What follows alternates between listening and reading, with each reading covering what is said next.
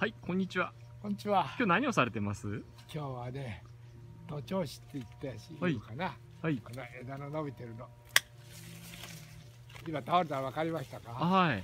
という仕事。これどういうのを徒長枝って言うんですか？いや、これが今年伸びて急に伸びてるようですね。おおはい。まあ、急に伸びた枝を感じ取ってるんですよ取ね、って、はい。これをこの辺で、よしこういうふうにね。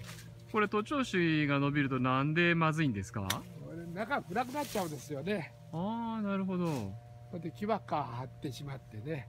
あああ、だからあの日が入らあ。ない。日が入んないから。というふうなことでやってるんですよね。あところで今日はね、あ。はい。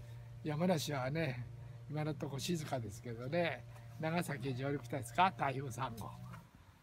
それから、なんで今夜自分、うん、この関東の方へ来るようなこと言ってますね。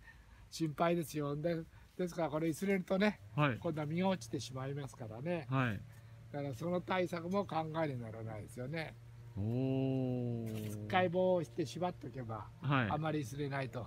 はい。いうようなことをね違う畑はもうしていますけどねあ、そうですかそういうふう。なこともしなきゃなるほど大変ですね。と頭が痛いですよ、ああ、そうですえね。被害ないといいですね。そうそうその通りですそうですか。はい頑張ってくだあさいり。がとう